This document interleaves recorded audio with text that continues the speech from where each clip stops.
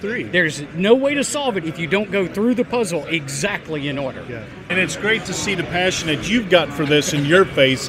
you you, he's only seen a profile of your face, but man, you're just you're like a proud papa moment right now, man. Stick around and we'll get right to it. So, what was the toughest part of this? Which which which question was the toughest one to solve? I think just getting going at first was tar- uh, toughest. You know, getting you know you start the once you start knowing the format of the URLs and stuff like that, that you're always missing the last three characters because you know, I, I had never used that uh, service before, so it's like it's asking me to register. Is this legit? So yeah, you register for the site and, and you go on there, and then.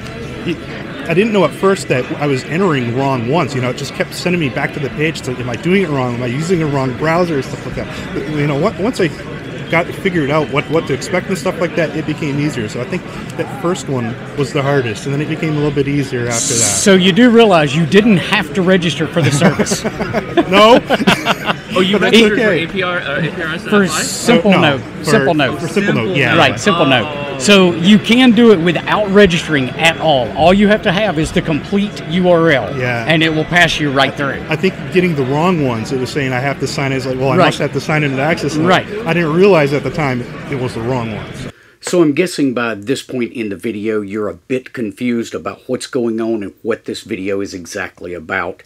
So let me back up and give you a little backstory.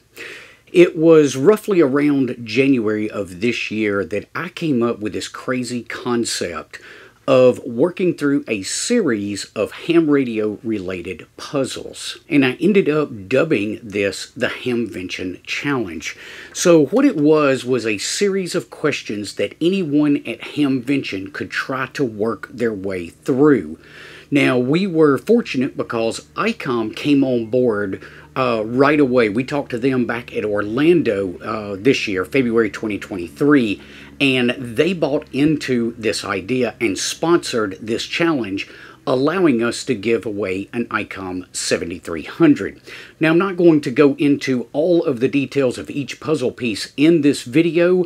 We will be doing a live stream tomorrow night, uh, if everything goes well, on Ham Radio Crash Courses uh, channel. So be sure to tune into that live stream where we'll go through and uh, show you exactly how each piece of this puzzle was solved. And you can see what all was in the puzzle to begin with. But the way you got into the game was by scanning one of these QR codes. We had sprinkled these around several different booths at Hamvention. We were fortunate that the ARRL was on board with us and they allowed us to basically cover their table with these QR codes. We also put them at Signal Stuff's booth and we put them at Gigaparts and LDG's booth. So we had these sprinkled around in quite a few places, but there's really nothing on here indicating what's going on. You literally had to scan the QR code, which took you to a web page that welcomed you to the game and kind of kicked things off. So I just wanted to introduce the concept to you in this video and share with you the winner and his interview, and then, of course, uh, presenting him with that ICOM 7300. So let's go ahead now and get back to that interview. So I'm, I'm curious because we kind of created the question. So we once you've created it, it's hard to know what to expect from the other side. Uh, how long did it take you to solve the uh, the one where you had to contact the simplex repeater? Uh, that was one of the longer ones. Uh, I sat there for a while thinking about it. It was probably about 15 minutes or so. 15 minutes or so? Yeah. Okay. Yeah, 'cause, uh, yeah. I, I called out there and talked to somebody, and then thought of it, and was like, "Well, let me just listen for a while, see if anybody else does anything." And they did it. It didn't. And it's like, "Oh, you got a button." And I looked at it a little bit further. Maybe it's DTMF. so So what about the what about the APRS portion of it? The the two different. It was the same clue, Right. But you had to solve it Yeah. two different ways. So I was thinking it had at first it had to do something with the name of it. It's like what does the the shal mean, right?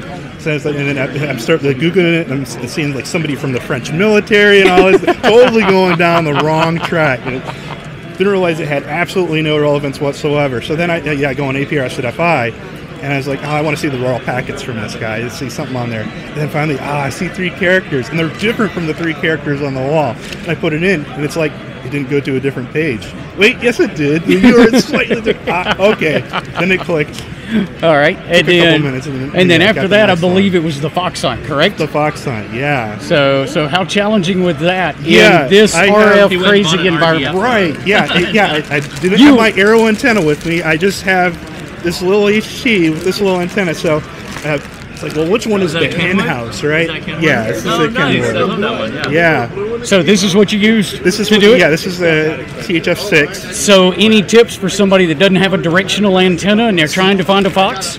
So yeah, I go around with this and try and get the strongest signal that I can at, at this, and then I take off the antenna and then start going like that, and in Pay attention, guys. Pay attention. a lot of attenuation that way. So I kind of use my finger as an antenna first, and then when I get really close, then take it off altogether and just kind of start winging the radio around. And you know, I'm like nosing behind booths and stuff like that. And then finally, I see this arrow antenna laying there, and then I'm asking the, is it okay for me to be back here? And then I see it on the wall. I was like, Fox Hunt, ah, I got it. I put it in. It's like, okay, what's next? And it's like, congratulations. No way, this is it. All right. Thank you, ICOM, for sponsoring this event. This was a lot of fun. I hope you had some fun playing it. It was, um, it was awesome. The ARRL was on board with us from the from the very beginning, so we greatly appreciate you guys giving us some latitude and uh, and, guys and are helping awesome. us as we kind of uh, stretch the limits of what other people might have been doing in the past. so, on, uh, congratulations with an ICOM 7300. Awesome. Thank you so much. Well done. You're more than welcome. It's all but hey, we can't do what we do without these guys. They you. they Thank do you. everything for us. So Thank you, David. Yep. And, and, and it's great to see the passion that you've got for this in your face. You're, you, he's only seen a profile of your face, but man, you're just you're like a proud papa moment right now, man. Ray, thank you for sponsoring the event. David, thank you for playing along. Thanks, brother. Thank you, Ray. Greatly appreciate it, guys. Here, Yeah, we'll give you. Yep, and a fist bump. all, all in, all in. All in.